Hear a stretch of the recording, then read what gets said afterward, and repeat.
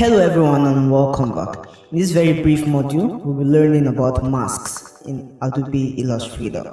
Okay, so what are masks? So masks are basically used to reveal certain parts of an image or an object while hiding others. Okay, so they're just used to reveal certain parts of an image.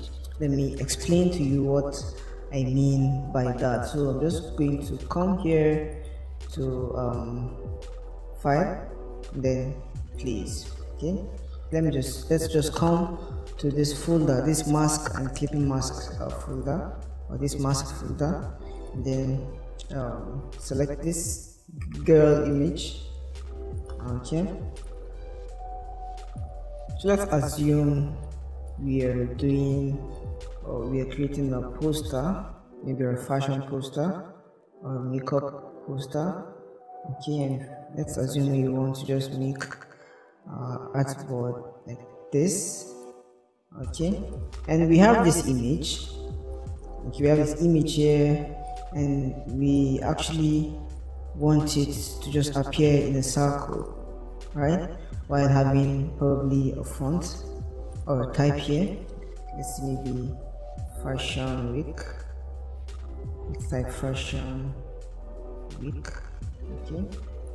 And just make it big.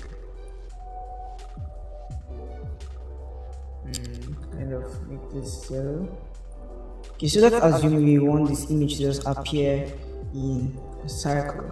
How do we do that? We use masks to do that. So just create your circle.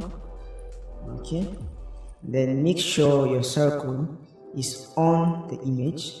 Okay on the image and just select both of them and right click and make clipping mask. That's all that's all you need to do and your and your um, your image will appear in the circle right? And basically that's how masks work.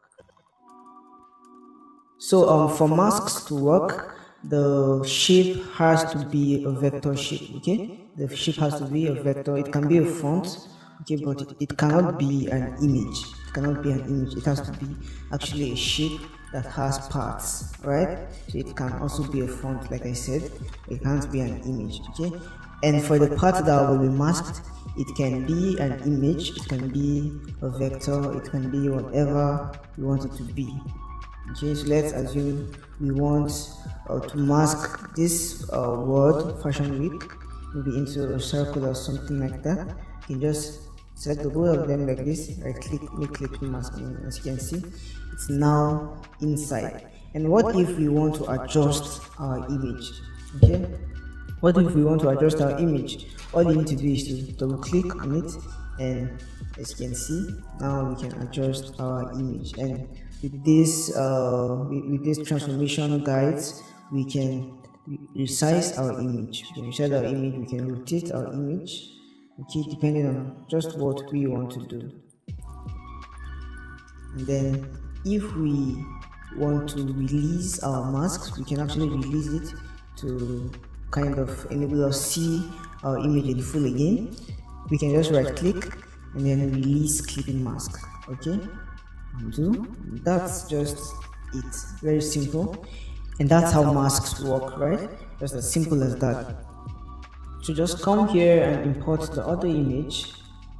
Okay let's import this image and create a mask with it right?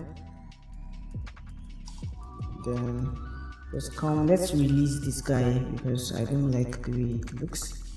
Just release, release it and delete. Then just copy this uh, font and maybe send this to the back okay and kind of come to your artboard tool and create a new artboard by clicking on this image just click on the image to create a new artboard and let's type uh, nature. Right?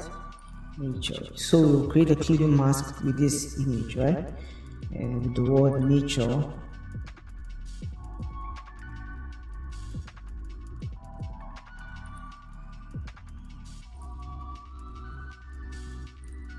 so let's just adjust our fonts let's kind of uh, adjust the spacing and also the size. Let's make the size bigger. Now we have a shortcut for clipping masking. So we don't always have to select and right click okay? We can just select them and control 7 okay? Control 7 and everything will go perfectly. And yeah now this is what we have. Perfect. Nature. Yeah. And then I would like us to work on something else. Let's assume we have another artboard right just delete this guy. and let's say we want the word nature. But we have them but we have the characters as separate entities okay on their own. so let's create outline to separate them and then on a group to have them as separate entities okay? And then why do we want to do like this maybe because probably because we want to just create a very nice design right? Okay we increase this guy and reduce this guy and just play around with the entire design right? So maybe this is what we want to achieve. This is what we want to achieve fine. To achieve it and then we're going to create our clipping mask okay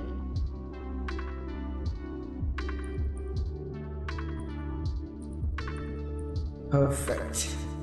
So um, let's come here and place our image once more. And then arrange send to the back. Let's select everything and control 7 right? Wow what do we have? You can see that it doesn't work okay control 7 doesn't work. Because um, because we have them as different entities. Okay they are not one. Okay they are not one. So it won't work in this case. Now what's the solution to this? The only way we can solve this problem is to combine these paths okay? Combine these shapes. And we can do that by making them a compound path okay we can do that by making them compound path now let's just kind of further adjust our set our design. Okay for the address of design this bigger okay. Now how do we turn our shapes to um, how do we turn them into compound masks? Just select all your shapes okay select all your shapes and come to objects and then come to compound path then make. So as you can see we now have them as a compound path so they are now the same they are not one. Okay when you select this guy and select this guy and control 7 we then see that our clipping mask now works now works perfectly. And we have what we wanted to achieve nature. Okay so we can do clipping masks for whatever type of shape we want. The shape doesn't matter. All that matters is that we follow the rules. Okay all that matters is, that we follow the rules. We should make sure the uh, we should make sure we have a setting like this. Okay? Should make sure we have a setting like this. What do i mean? We should make sure we have the image behind okay and then the shape above right? Then select all and control 7 and we see that no matter the shape we can create clipping masks. No matter the shape we can create our clipping masks. Okay so this is just all you need to know about clipping masks we are definitely going to use clipping masks to create designs in the future. And with this, we've come to the end of our video and of course our module on masks in Adobe Illustrator. Okay, see you in the next one.